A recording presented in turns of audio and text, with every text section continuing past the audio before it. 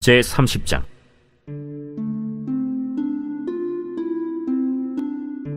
라헬이 자기가 야곱에게서 아들을 낳지 못함을 보고 그의 언니를 시기하여 야곱에게 이르되 내게 자식을 낳게 하라. 그렇지 아니하면 내가 죽겠노라. 야곱이 라헬에게 성을 내어 그대를 임신하지 못하게 하시는 이는 하나님이시니 내가 하나님을 대신하겠느냐 내 여종 비라에게로 들어가라. 그가 아들을 낳아 내 무릎에 두리니 그러면 나도 그로 말미암아 자식을 얻겠노라. 하고 그의 시녀 빌하를 남편에게 아내로 주매 야곱이 그에게로 들어갔더니 빌하가 임신하여 야곱에게 아들을 낳은지라 라헬이 이르되 하나님이 내 억울함을 푸시려고 내 호소를 들으사 내게 아들을 주셨다. 하고 이로 말미암아 그의 이름을 단이라 하였으며 라헬의 시녀 빌하가 다시 임신하여 둘째 아들을 야곱에게 낳음에 라헬이 이르되 내가 언니와 크게 경쟁하여 이겼다. 하고 그의 이름을 납달리라 하였더라. 레아가 자기의 출산이 멈춤을 보고 그의 시녀 실바를 데려다가 야곱에게 주어 아내로 삼게 하였더니 레아의 시녀 실바가 야곱에게서 아들을 낳음에 레아가 이르되 복되도다. 하고 그의 이름을 가시라 하였으며 레아의 시녀 실바가 둘째 아들을 야곱에게 낳음에 기쁘도다. 모든 딸들이 나를 기쁜 자라 하리로다. 하고 그의 이름을 아셀이라 하였더라. 밀 거둘 때 루벤이 나가서 들에서 합한 채를 얻어 그의 어머니 레아에게 드렸더니 라헬이 레아에게 이르되 언니의 아들의 합한 채를 청구하노라. 내가 내 남편을 빼앗은 것이 작은 일이냐? 그런데 내가 내 아들의 합한 채도 빼앗고자 하느냐? 그러면 언니의 아들의 합한 채 대신에 오늘 밤에 내 남편이 언니와 동침하리라. 저물 때 야곱이 들에서 돌아오매 레아가 나와서 그를 영접하며 이르되 내게로 들어오라. 내가 내 아들의 합한 채로 당신을 산노라. 그 밤에 야곱이 그와 동침하였더라. 하나님이 레아의 소원을 들으셨으므로 그가 임신하여 다섯째 아들을 야곱에게 낳은지라.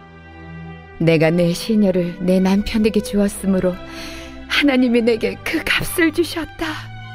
하고 그의 이름을 이사가리라 하였으며 레아가 다시 임신하여 여섯째 아들을 야곱에게 낳은지라. 하나님이 내게 후한 선물을 주시도다. 내가 남편에게 여섯 아들을 낳았으니 이제는 그가 나와 함께 살리라. 하고 그의 이름을 스불론이라 하였으며 그 후에 그가 딸을 낳고 그의 이름을 디나라 하였더라. 하나님이 라헬을 생각하신지라 하나님이 그의 소원을 들으시고 그의 태를 여셨으므로 그가 임신하여 아들을 낳고 이르되 하나님이 내 부끄러움을 씻으셨다. 하고 그 이름을 요셉이라 하니 여호와는 다시 다른 아들을 내게 더하시기를 원하노라. 라헬이 요셉을 낳았을 때 야곱이 라반에게 이르되 나를 보내어 내 고향 나의 땅으로 가게 하시되 내가 외삼촌에게서 일하고 얻은 처자를 내게 주시어 나로 가게 하소서? 내가 외삼촌에게 한 일은 외삼촌이 아시나이다? 라반이 그에게 이르되 여호와께서 너로 말미암아 내게 복 주신 줄 내가 깨달았노니 내가 나를 사랑스럽게 여기거든 그대로 있으라. 내 품삯을 정하라. 내가 그것을 주리라. 내가 어떻게 외삼촌을 섬겼는지 어떻게 외삼촌의 가축을 쳤는지 외삼촌이 아시나이다 내가 오기 전에는 외삼촌의 소유가 적더니 번성하여 때를 이루었으니 내 발이 이르는 곳마다 여호와께서 외삼촌에게 복을 주셨나이다. 그러나 나는 언제나 내 집을 세우리이까? 내가 무엇으로 내게 주랴? 외삼촌께서 내게 아무것도 주시지 않아도 나를 위하여 이 일을 행하시면 내가 다시 외삼촌의 양떼를 먹이고 지키리이다. 오늘 내가 외삼촌의 양떼에 두루 다니며 그 양 중에 아롱진 것과 점 있는 것과 검은 것을 가려내며 또 염소 중에 점 있는 것과 아롱진 것을 가려내리니 이 같은 것이 내 품삯이 되리이다. 후일에 외삼촌께서 오셔서 내 품삯을 조사하실 때 나의 의가 내 대답이 되리이다. 내게 혹시 염소 중 아롱지지 아니한 것이나 점이 없는 것이나 양 중에 검지 아니한 것이 있거든 다 도둑질한 것으로 인정하소서. 내가 내 말대로 하리라. 그날에 그가 순염소 중 얼룩무늬 있는 것과 점 있는 것을 가리고 암염소 중 흰 바탕에 아롱진 것과 점 있는 것을 가리고 양 중에 검은 것들을 가려 자기 아들들의 손에 맡기고 자기와 야곱의 사이를 사흘 길이 뜨게 하였고 야곱은 라반의 남은 양떼를 치니라. 야곱이 버드나무와 살구나무와 신풍나무의 푸른 가지를 가져다가 그것들의 껍질을 벗겨 흰 무늬를 내고 그 껍질 벗긴 가지를 양떼가 와서 먹는 개천의 물구유에 세워 양떼를 향하게 하매 그때가 물을 먹으러 올 때에 새끼를 베니 가지 앞에서 새끼를 뱀으로 얼룩얼룩한 것과 점이 있고 아롱진 것을 낳은지라. 야곱이 새끼 양을 구분하고 그 얼룩 무늬와 검은 빛 있는 것을 라반의 양과 서로 마주보게 하며 자기 양을 따로 두어 라반의 양과 섞이지 않게 하며 튼튼한 양이 새끼 뵐 때에는 야곱이 개천에다가 양떼의 눈앞에 그 가지를 두어 양이 그 가지 곁에서 새끼를 베게 하고 약한 양이면 그 가지를 두지 아니하니 그렇게 함으로 약한 것은 라반의 것이 되고 튼튼한 것은 야곱의 것이 된지라. 이에 그 사람이 매우 번창하여 양떼와 노비와 낙타와 나귀가 많았더라.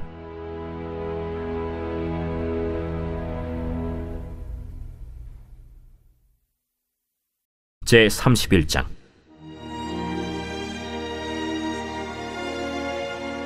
야곱이 라반의 아들들이 하는 말을 들은즉 야곱이 우리 아버지의 소유를 다 빼앗고 우리 아버지의 소유로 말미암아 이 모든 재물을 보았다. 야곱이 라반의 안색을 본즉 자기에게 대하여 전과 같이 아니하더라 여호와께서 야곱에게 이르시되 네 조상의 땅, 네 족속에게로 돌아가라. 내가 너와 함께 있으리라. 야곱이 사람을 보내어 라헬과 레아를 자기 양떼가 있는 들로 불러다가 내가 그대들의 아버지의 안색을 본즉 내게 대하여 전과 같지 아니하도다. 그러할지라도 내 아버지의 하나님은 나와 함께 계셨느니라. 그대들도 알거니와 내가 힘을 다하여 그대들의 아버지를 섬겼거늘 그대들의 아버지가 나를 속여 품삯을 열 번이나 변경하였느니라.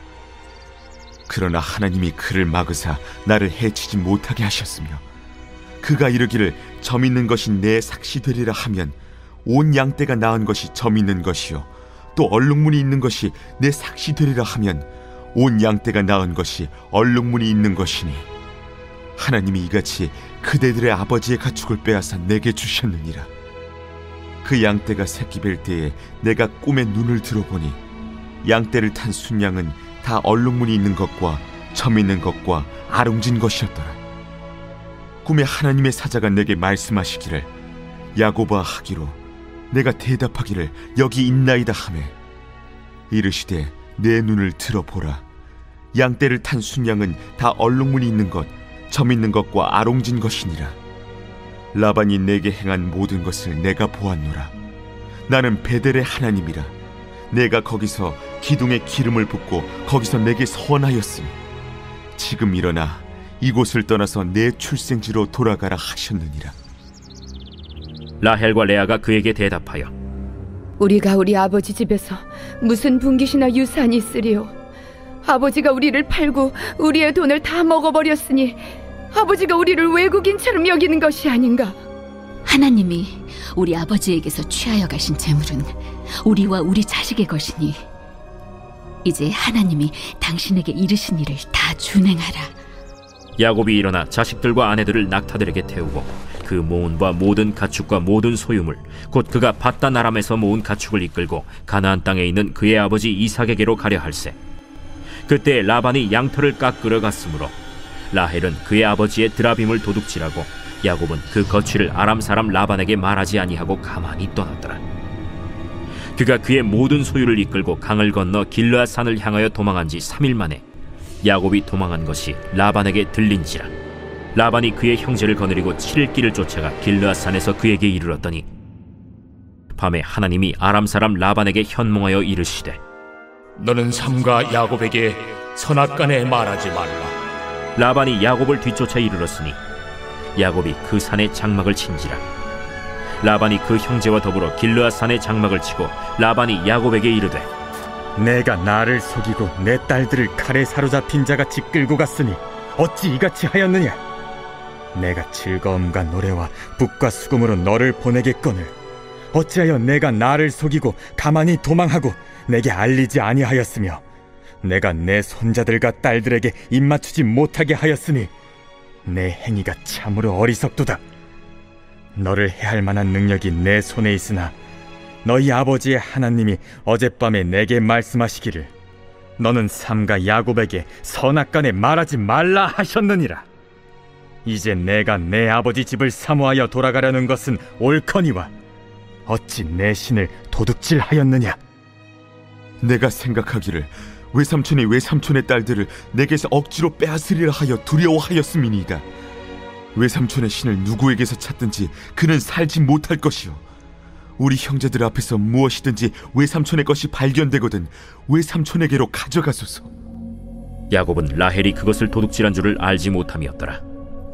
라반이 야곱의 장막에 들어가고 레아의 장막에 들어가고 두 여종의 장막에 들어갔으나 찾지 못하고 레아의 장막에서 나와 라헬의 장막에 들어가매 라헬이 그 드라빔을 가져 낙타 안장 아래에 놓고 그 위에 앉은지라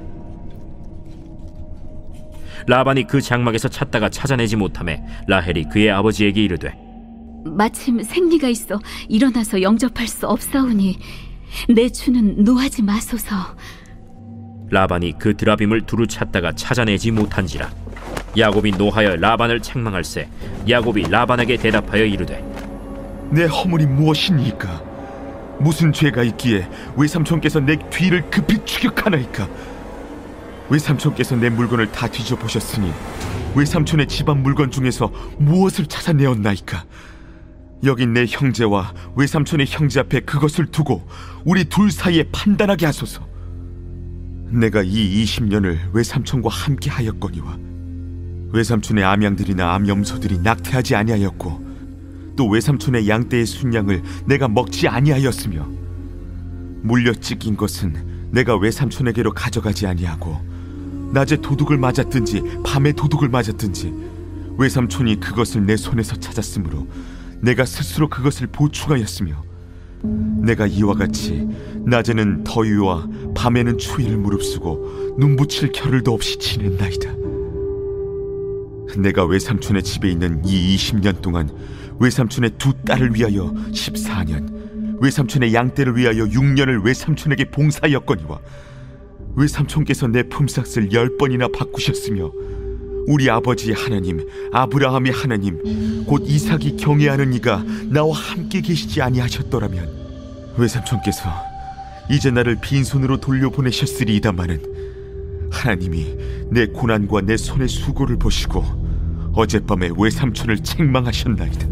라반이 야곱에게 대답하여 이르되 딸들은 내 딸이요 자식들은 내 자식이요 양떼는 내 양떼요. 내가 보는 것은 다 내 것이라 내가 오늘 내 딸들과 그들이 낳은 자식들에게 무엇을 하겠느냐? 이제 오라. 나와 내가 언약을 맺고 그것으로 너와 나 사이에 증거를 삼을 것이니라.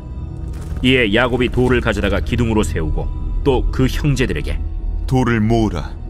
그들이 돌을 가져다가 무더기를 이루매 무리가 거기 무더기 곁에서 먹고 라반은 그것을 여갈 사하두다라 불렀고 야곱은 그것을 갈르엣이라 불렀으니 라반의 말에 오늘 이 무더기가 너와 나 사이에 증거가 된다.